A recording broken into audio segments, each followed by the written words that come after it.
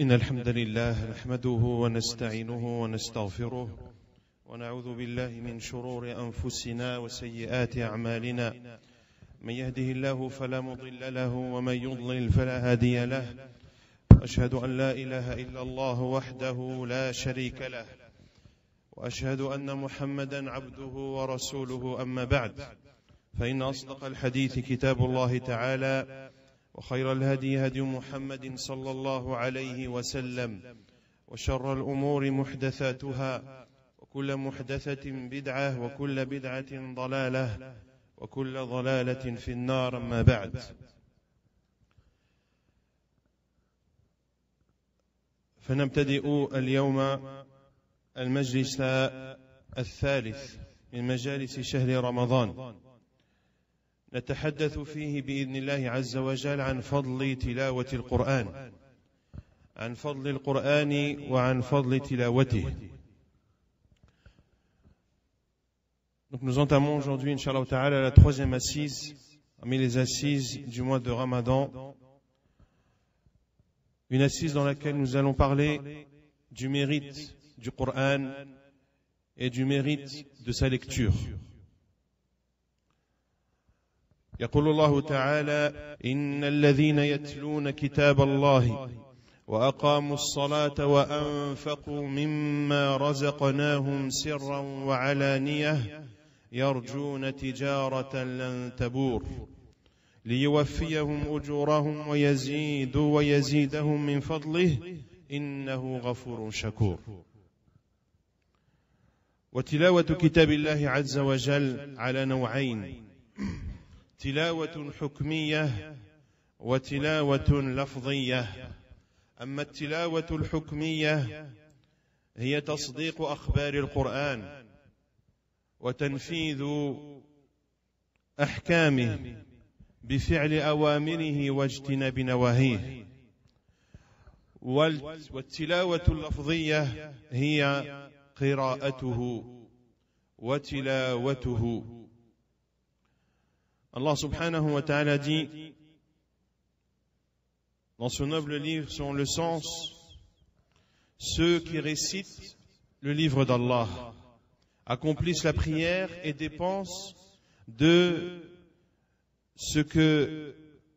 Allah, de ce que nous leur avons accordé et de ce que nous leur avons octroyé en secret et en public.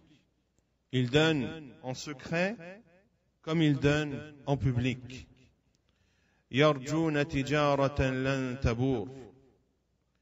Espérant ainsi faire un commerce qui ne périra jamais. Le fait d'adorer Allah subhanahu wa ta'ala est un commerce qui ne périt jamais. Comme l'a dit Allah azza wa على تجارة تنجيكم من عذاب أليم تؤمنون بالله الآية Voulez-vous que je vous informe, comme l'a dit Allah Azza wa Jal selon le sens, voulez-vous que je vous informe d'un commerce qui vous préservera d'un châtiment douloureux Et Allah Azza wa Jal d'énumérer les différentes formes d'adoration.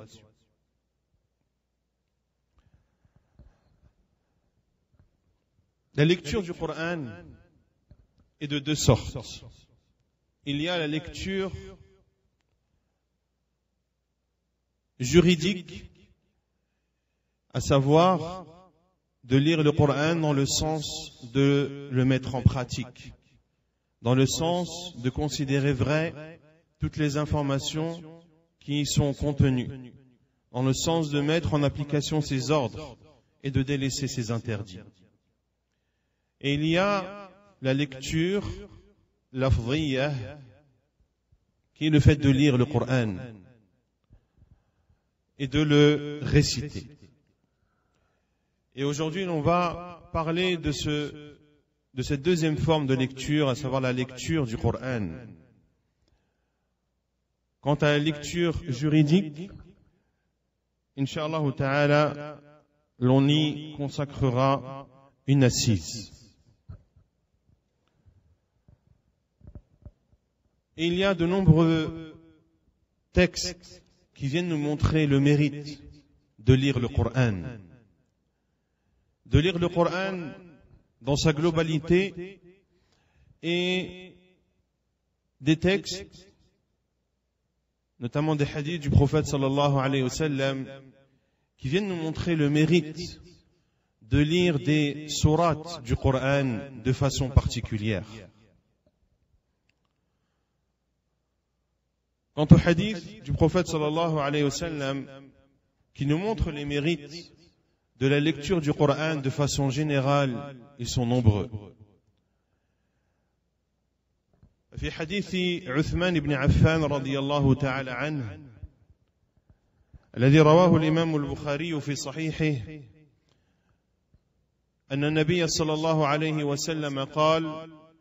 خيركم من تعلم القرآن وعلمه le hadith de Uthman ibn Affan radiallahu anhu, le prophète sallallahu alayhi wa sallam a dit Le meilleur d'entre vous est celui qui apprend le Coran et l'enseigne. Celui qui l'apprend pour soi, en l'apprenant par cœur, en en comprenant l'essence et en l'enseignant à autrui. وفي حديث عائشة رضي الله عنها أن النبي صلى الله عليه وسلم قال الماهر بالقرآن مع السفرة الكرام البررة والذي يقرأ القرآن ويتتعتع فيه وهو عليه شاق له أجران. والحديث رواه البخاري ومسلم. الماهر أي الحاذق الذي يتقن القرآن حفظا وتلاوة prophète sallallahu alayhi wa sallam, dans le hadith de Aisha radiallahu anha, rapporté par Al-Bukhari et Muslim, dit Al-Mahiru bil-Qur'an, celui qui excelle dans le Qur'an. Celui qui excelle dans le Qur'an, c'est-à-dire celui qui l'a appris par cœur, de telle sorte que lorsqu'il le récite, il ne s'arrête pas et n'hésite pas dans sa lecture. Il excelle également dans la lecture du Coran et il le récite en respectant les règles de lecture. Ainsi, celui qui excelle dans le Coran, le prophète sallallahu alayhi wa sallam a dit qu'il sera avec al-safara, al-kiram al-barara, avec les émissaires nobles et obéissants. Et ces émissaires sont les anges. Comme l'a dit Allah subhanahu wa ta'ala dans surat Abasa, في صحف مكرمة مرفوعة مطهرة بأيدي سفرة كرام بررة. En parlant du Coran, Allah Azza wa Jal dit, dans le sens des versets, consignés dans des feuilles honorées élevé et purifié entre les mains d'ambassadeurs nobles et obéissants.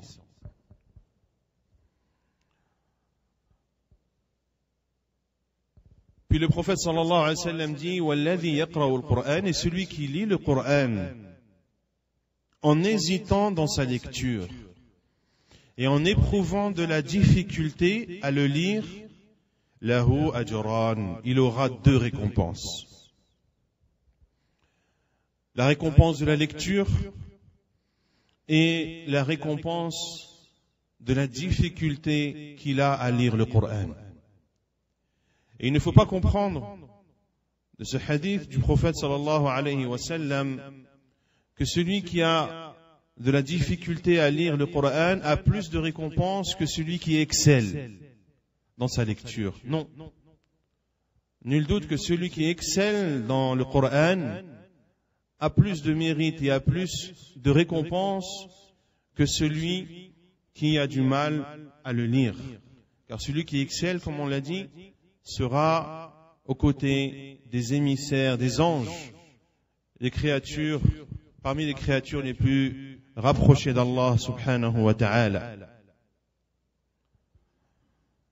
وفي حديث أبي موسى الأشعري رضي الله عنه أن النبي صلى الله عليه وسلم قال مثل المؤمن الذي يقرأ القرآن مثل الأترجة ريحها طيب وطعمها طيب. ومثل المؤمن الذي لا يقرأ القرآن كمثل التمرة لا ريح لها وطعمها حلو. والحديث متفق عليه. والحديث أبو موسى الأشعري رضي الله عنه. الخفات صلى الله عليه وسلم nous donne l'exemple du croyant qui et de, du croyant qui ne lit pas le Coran. Il dit sallallahu alayhi wa sallam, le croyant qui lit le Coran est comparable à al-utrujjah, qui est un fruit parmi les agrumes. Et le prophète sallallahu alayhi wa sallam a décrit ce fruit comme ayant une bonne odeur et comme ayant un bon goût. Les savants ont dit que le prophète sallallahu alayhi wa sallam a comparé le, croyant qui lit le Coran à al-utrujjah, cet agrume, pour montrer que ce croyant est bon en apparence comme à l'intérieur. Ils disent que ce qui embellit son apparence est la lecture du Coran. Et que ce qui fait que son intérieur est bon est sa foi, car c'est un croyant. Et le croyant qui lit le Coran, tout est bon en lui, son apparence et son intérieur. Puis le prophète sallallahu alayhi wa sallam a dit, et le croyant qui ne lit pas le Coran est comparable à une date qui n'a pas d'odeur mais qui a un bon goût. Et si les savants ont dit que le prophète sallallahu alayhi wa sallam a comparé le croyant qui ne lit pas le Coran à une date, car la date n'a pas d'odeur. Ainsi, le croyant qui ne lit pas le Coran, il n'y a pas de choses en apparence qui le distinguent.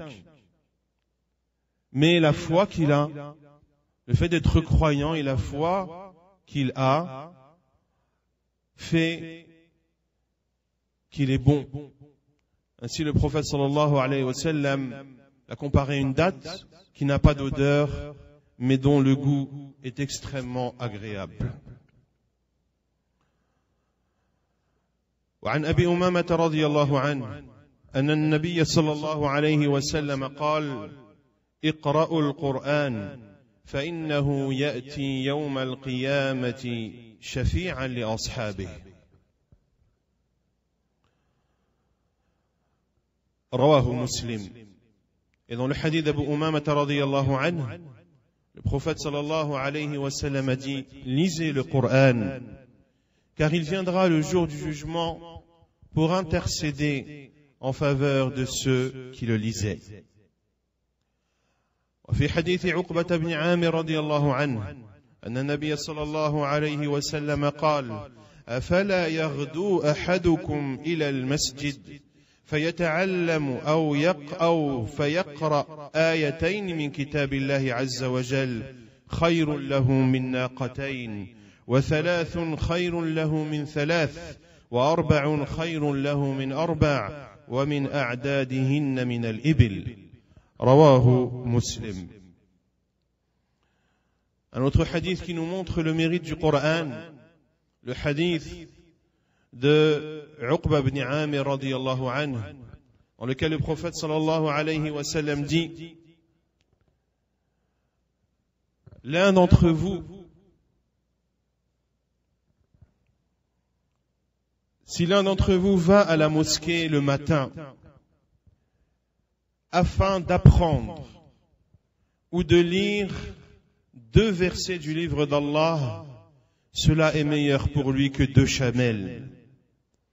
Et trois versets meilleurs que trois chamelles, et quatre versets sont meilleurs pour lui que quatre chamelles, et autant de versets que de chamelles. Ici, le prophète sallallahu alayhi wa sallam nous montre le, le mérite immense de lire le Coran, et que celui qui se rend à la mosquée pour lire ou pour apprendre deux versets est meilleur pour lui que deux chamelles. C'est-à-dire que cela est meilleur pour lui que de donner en aumône deux chamelles. Et les chamelles avaient une grande valeur au temps du prophète sallallahu alayhi wa, sallam. Et les femelles avaient plus de valeur que les mâles. Et le fait de lire deux versets uniquement, qui est une chose simple et aisée, qui ne demande que quelques secondes, apporte, Allah Azzawajal donne comme récompense le fait de donner en aumône des choses extrêmement valorisantes comme les chamelles. وفي حديث أبي هريرة رضي الله عنه أن النبي صلى الله عليه وسلم قال ما اجتمع قوم في بيت من بيوت الله يتلون كتاب الله ويتدارسونه بينهم الا نزلت عليهم السكينه وغشيتهم الرحمه وحفتهم الملائكه وذكرهم الله في من عنده Selon Abu Hurairah radiallahu anhu, le prophète sallallahu alayhi wa sallam a dit Il n'y a pas un peuple qui se réunit dans une maison, parmi les maisons d'Allah Azza wa pour lire le livre d'Allah et pour l'apprendre et l'enseigner entre eux sans que la sérénité ne descende sur eux, que la miséricorde ne les enveloppe, que les anges ne les entourent et qu'Allah subhanahu wa ta'ala les cite auprès de ceux qui sont auprès de lui subhanahu wa ta'ala à savoir les anges et les habitants du ciel. Et le fait qu'Allah Azzawajal te cite et fasse tes éloges auprès des habitants du ciel et fait partie des plus grandes faveurs et des plus grands mérites. ويقول النبي صلى الله عليه وسلم تعاهدوا القرآن فوالذي نفسي بيده لهو أشد تفلتا من الإبل في عقولها Le prophète sallallahu alayhi wa sallam nous encourage à lire régulièrement et à réviser ce que l'on a appris du Coran régulièrement. Il dit sallallahu alayhi wa sallam, révisez le Coran. Car par celui qui détient mon âme dans sa main, il peut s'échapper comme le chameau s'échappe de son enclos. Lorsqu'un chameau est attaché, il s'efforce de dénouer ce nœud. Ainsi, ceux qui s'occupent des chameaux viennent régulièrement vérifier les nœuds qui attachent ces chameaux. Car un chameau qui se sauve, c'est un chameau que tu auras très peu de chances de retrouver. Ainsi, le prophète sallallahu alayhi wa sallam nous enjoint à réviser le Coran, à tout le temps le lire, afin qu'il ne s'échappe pas et que ce que l'on a appris ne soit pas oublié. ويقول عليه الصلاة والسلام لا يقل أحدكم نسيت آية كيت وكيت بل هو نسي وفي رواية وليقل نسيت لماذا؟ لأن قوله نسيت قد يشعر بعدم المبالاة بما حفظ من القرآن حتى نسيه prophète sallallahu alayhi wa sallam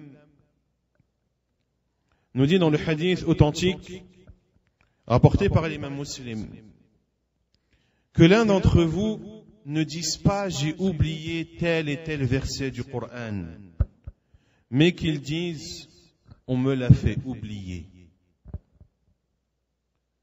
Ceci en guise de respect vis-à-vis du Coran, ceci en guise de respect vis-à-vis de la parole d'Allah subhanahu wa ta'ala, de ne pas dire j'ai oublié. Car ta parole j'ai oublié, l'on peut en comprendre que tu as été négligent vis-à-vis du livre d'Allah subhanahu wa ta'ala et que tu l'as délaissé. Parmi les sens de nasiya en arabe, il y a le fait de délaisser. Il y a le fait de délaisser. Or, il n'appartient pas à un croyant de délaisser le Coran.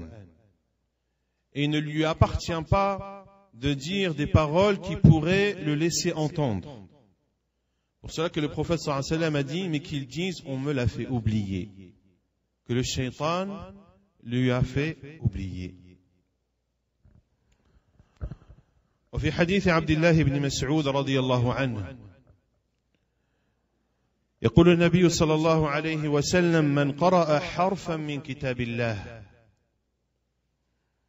فله حسنة والحسنة بعشر أمثالها لا أقول ألف لام ميم حرف ولكن ألف حرف وميم حرف ولام حرف وميم حرف Selon, Abu Mas'ud, selon Abdullah ibn Mas'ud, le prophète sallallahu alayhi wa sallam a dit Celui qui lit une lettre du Coran, il aura pour chaque lettre lue une hasana, une bonne action. Et la bonne action est multipliée par dix. Ceci d'office. Toutes les bonnes actions sont multipliées par dix. Et ceci est une faveur qu'Allah subhanahu wa ta'ala a fait pour les croyants Et cela n'est pas le cas pour les mauvaises actions. Les mauvaises actions ne sont pas décuplées, contrairement bonnes. Et le prophète sallallahu alayhi wa sallam, pour expliciter sa parole, pour qu'elle soit bien comprise, a dit sallallahu alayhi wa sallam, je ne dis pas que alif lam mim est une lettre, mais alif est une lettre. Lam est une lettre et mim est une lettre. Ainsi, celui qui dit alif lam mim en récitant le Coran, a 30 hasanat.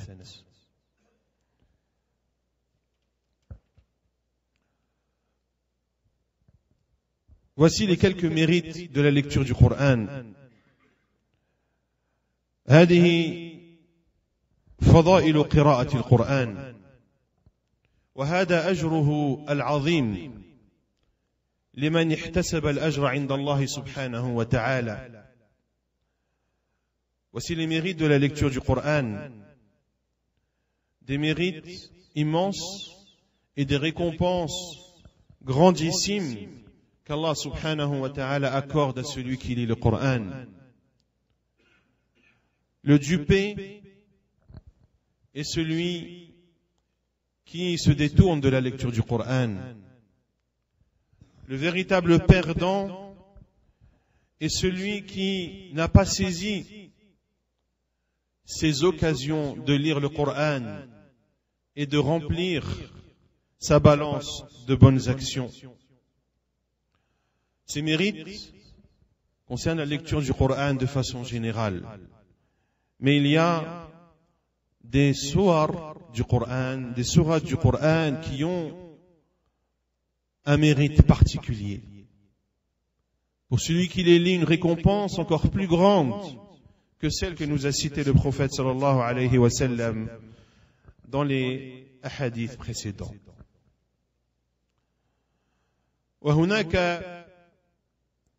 بعض الصور التي لها فضائل معينة ومخصصة من تلك السور سورة الفاتحة يقول النبي صلى الله عليه وسلم لأبي سعيد بن المعلى رضي الله عنه. لأعلمنك أعظم سورة في القرآن. الحمد لله رب العالمين. هي السبع المثاني والقرآن العظيم. هي السبع المثاني والقرآن العظيم الذي أوتيته. Le prophète sallallahu alayhi wa sallam s'est adressé à l'un de ses compagnons, Abu Sa'id ibn al-Mu'la radiyallahu anhu, et lui a dit, je vais t'enseigner la plus immense sourate du Coran, Alhamdulillahi Rabbil Alamin. هي السبع المثاني السبع المثاني ce sont les sept versets de Surat al-Fatiha. Comme l'ont cité un certain nombre de savants. Et d'autres savants disent que as-sab'ul mathani ce sont euh, les grandes sourates At-Tiwal, les grandes sourates du Coran, les sept grandes sourates du Coran, que sont Al-Baqarah, Al-Imran, Al-Nisa, Al-Ma'idah, Al-An'am, Al-A'raf, et il cite Al-Anfal et Al-Tawbah comme étant une seule et même sourate. Et d'autres savants ont dit que Al-Sab'ul Mathani, ce sont les sept versets de Surat Al-Fatiha. Et ils ont pour preuve ce hadith que l'on cite actuellement. Et Al-Mathani signifie le verset ou la sourate dans laquelle sont répétées des exhortations et des leçons à retenir. Les sept versets de Surat al-Fatiha, qui les connaît? Qui sait les séparer?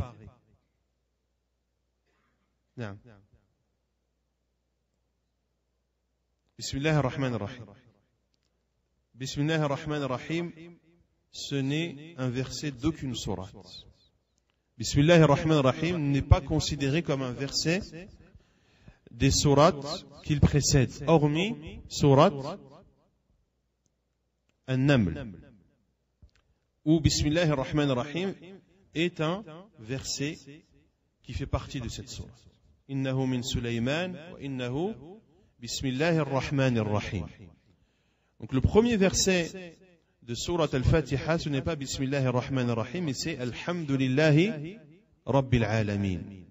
Et la preuve est le hadith où le prophète sallallahu alayhi wa sallam nous cite que celui qui récite al-Fatiha, euh, il engage une conversation et un échange avec Allah subhanahu wa ta'ala.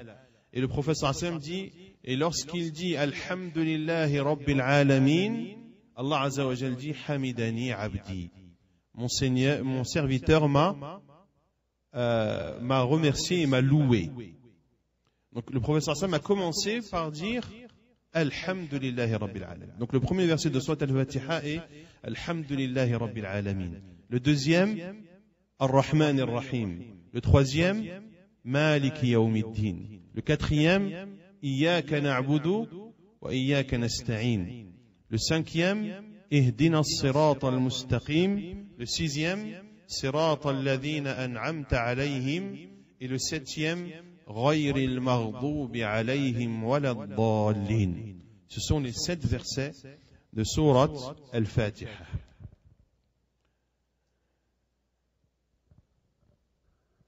Et ce qui nous montre également les mérites de cette sourate et que c'est la meilleure sourate du Coran, أن قراءتها ركن في الصلاة لا تصح الصلاة بدونها que la lecture du, de Surat al-Fatiha fait partie des piliers de la prière. Une prière ne peut être valide sans la lecture de Surat al-Fatiha. لقوله صلى الله عليه وسلم لا صلاة لمن لم يقرأ بفاتحة الكتاب. رواه البخاري ومسلم. ومن السور المعينة سورة البقرة وآل عمران. يقول النبي صلى الله عليه وسلم اقرأوا الزهروين البقرة وآل عمران فإنهما يأتيان يوم القيامة. كأنهما غمامتان أو غيايتان أو كأنهما فرقان من طير صواف تحاجان عن أصحابهما. اقرأوا سورة البقرة فإن أخذها بركة وتركها حسرة ولا يستطيعها البطلة يعني السحرة. Surat al-Baqarah, Surat la vache et Surat Ali Imran ont une particularité et un mérite particulier. Le prophète sallallahu alayhi wa sallam nous dit Iqra'u zahrawayn. Lisez, lisez celle qui illumine. Celle qui illuminent, qui sont une lumière et qui éclairent. Al-Baqarah wa Al-Imran. Surat Al-Baqarah et Surat Al-Imran.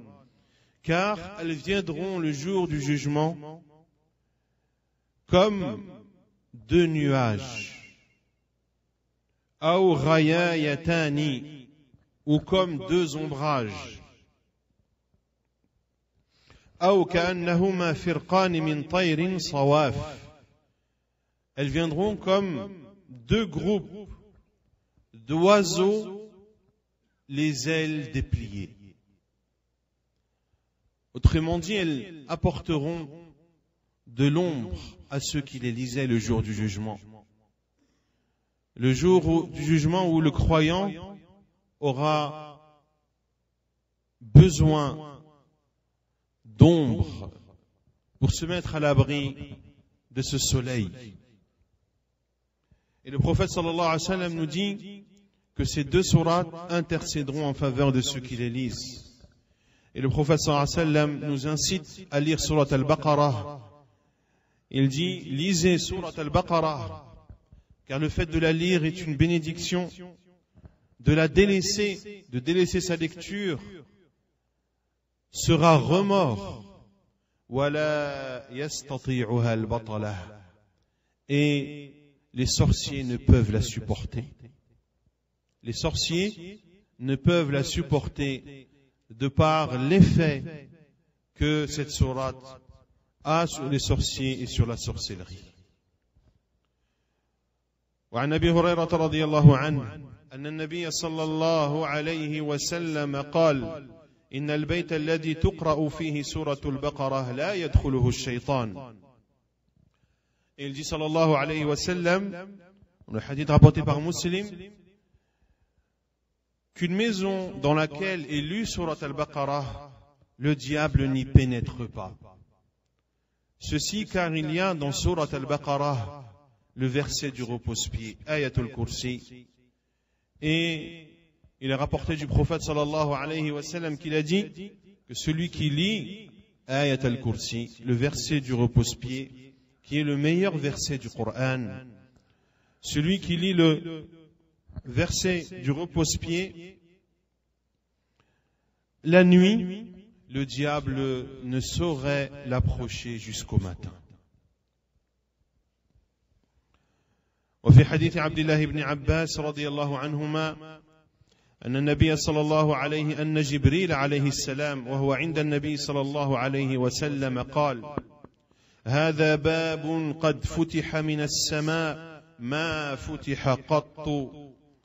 قال فنزل منه ملك فأتى النبي صلى الله عليه وسلم فقال أبشر بنورين قد أوتيتهما لم يؤتهما نبي قبلك. فاتحة الكتاب. وخواتيم البقرة لن تقرأ بحرف منها إلا أوتيته Jibril alayhi salam était en compagnie du prophète sallallahu alayhi wa sallam. Puis il s'est adressé au prophète sallallahu alayhi wa sallam et a dit Voilà une porte qui vient de s'ouvrir. Voilà une porte qui vient de s'ouvrir dans le ciel. Elle n'a jamais été ouverte auparavant. Puis il a dit Un ange est descendu de cette porte et est venu au prophète sallallahu alayhi wa sallam et lui a dit Je t'apporte la bonne nouvelle de deux lumières qui te sont accordées, qui n'ont été accordées à aucun autre prophète avant toi. Fatihatul Kitab, Al-Fatiha et les derniers versets de Surat Al-Baqarah. Lorsque tu lis une lettre de ces versets, alors tu bénéficieras de ces deux lumières.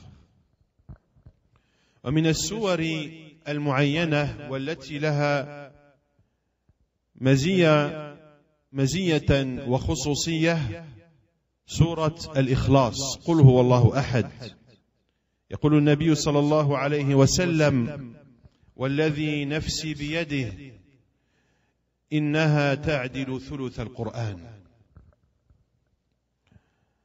Parmi les soirs qui ont un mérite particulier, Surat al-Ikhlas, Surat Qul Allahu Ahad. Le prophète sallallahu alayhi wa sallam a dit par celui qui détient mon âme dans sa main, elle équivaut au tiers du Coran.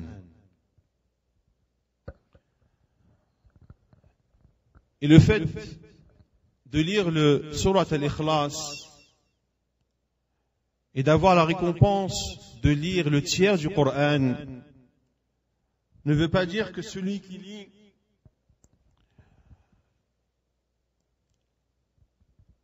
Surat al-Ikhlas trois à trois reprises que cela l'exempte de lire ce qu'il doit lire.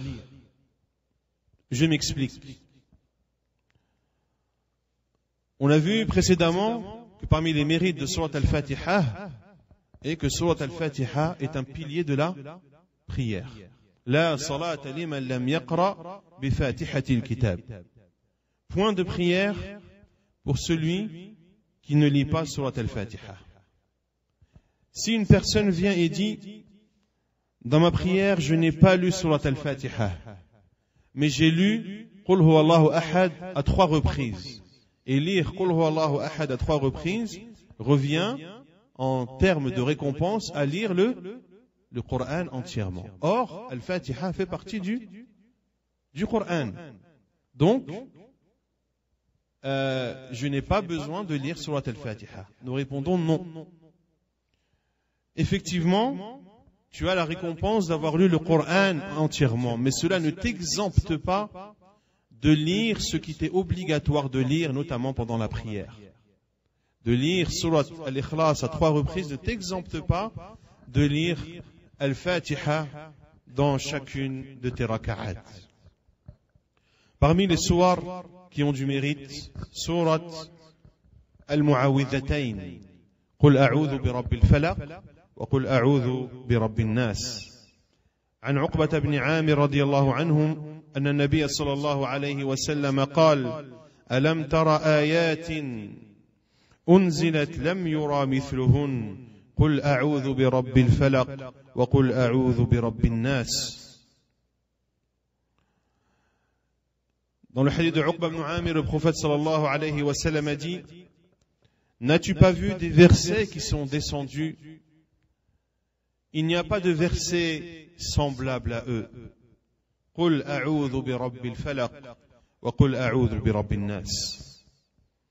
Et ainsi, on peut énumérer les hadiths du prophète sallallahu alayhi wa sallam qui nous montrent les mérites du Coran. Tous ces textes doivent nous amener à beaucoup lire le livre d'Allah subhanahu wa ta'ala et de façon particulière dans ce mois de Ramadan qui est le mois du Coran. Et la lecture dans le mois de Ramadan a une particularité aussi. Et Allah Azzawajal accorde une grande récompense.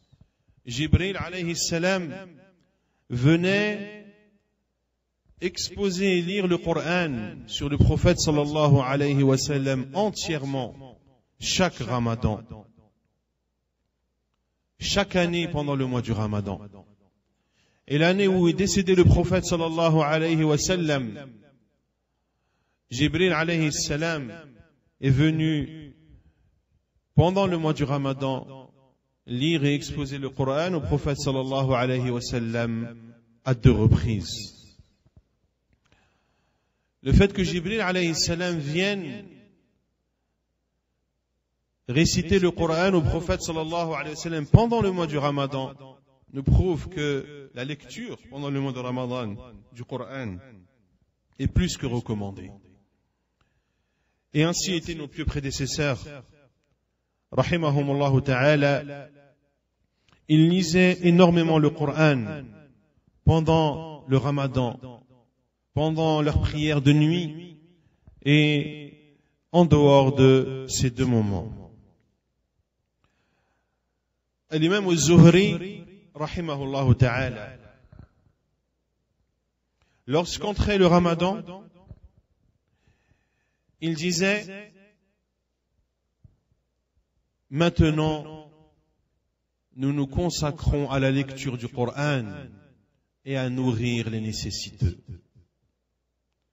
Lorsqu'entrait le mois de Ramadan, cet illustre tabi'i ce grand savant Abu Bakr Muhammad ibn Muslim ibn Shihab al-Zuhri radiallahu anhu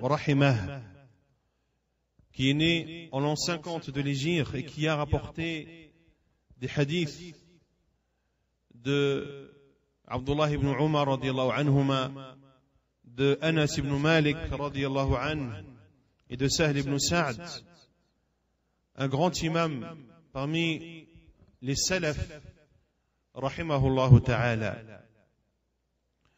L'imam Malik, lorsqu'entrait le mois du Ramadan, délaissait la lecture du hadith et il délaissait les assises, les assises de science et il se consacrait uniquement au Coran et à la lecture du Coran.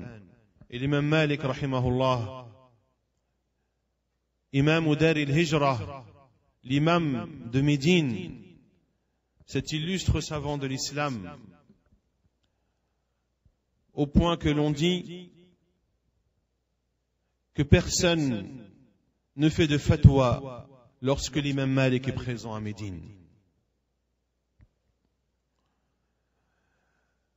قتادة رحمه الله تعالى قتادة بن دعامة As-Sadousi, rahimahullah ta'ala, qui fait partie des pieux prédécesseurs, un grand tabi'i, qui a rapporté également des hadiths de Anas ibn Malik, radiallahu anhu, et a rapporté de nombreux euh, tabi'in également. L'imam al-Zahabi, a dit sur l'imam Qatada que c'était qu'il était rempli de science et qu'il était donné comme exemple pour montrer la, on, le, citait en exemple pour montrer la force de mémorisation. Car c'était un hafiz. Il a pris un nombre extravagant de hadiths du prophète sallallahu alayhi L'imam Qatada, terminer le Coran de façon habituelle tous les sept jours. Et lorsque venait le mois de Ramadan, il terminait la lecture du Coran tous les trois jours. Et lorsque les dix derniers jours du Ramadan entraient, il terminait la lecture du Coran tous les jours. Et jusqu'à notre époque, des savants sont connus pour lire le Coran en trois jours, voire en un jour. Ne pensez pas que cela est impossible de lire un peu plus de 600 pages par jour. Non.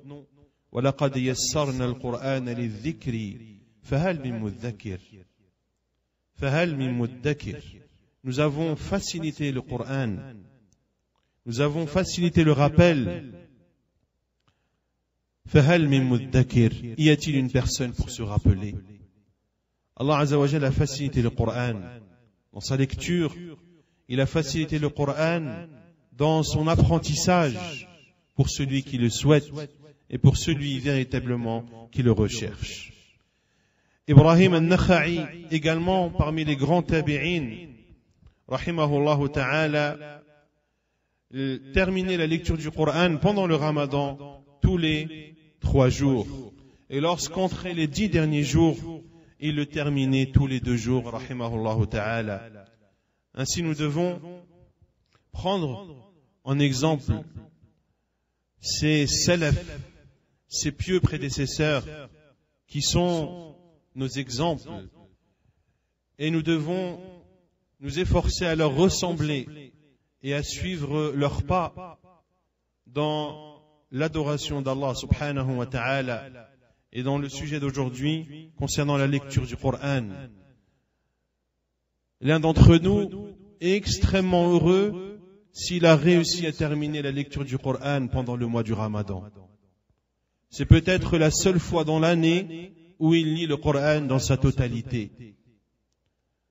Cela nous montre que nous sommes loin encore de nos pieux prédécesseurs et que nous devons placer la barre haute au-dessus de nous pour euh, nous encourager et pour euh, revivifier notre motivation à nous exceller dans l'adoration d'Allah subhanahu wa ta'ala et notamment dans la lecture du Coran. هذا ما تيسر ذكره نسأله سبحانه وتعالى أن يجعلنا من أهل القرآن وأن يوفقنا لما يحبه ويرضاه وصلى الله وسلم وبارك على نبينا محمد وعلى آله وصحبه أجمعين وآخر دعوانا أن الحمد لله رب العالمين.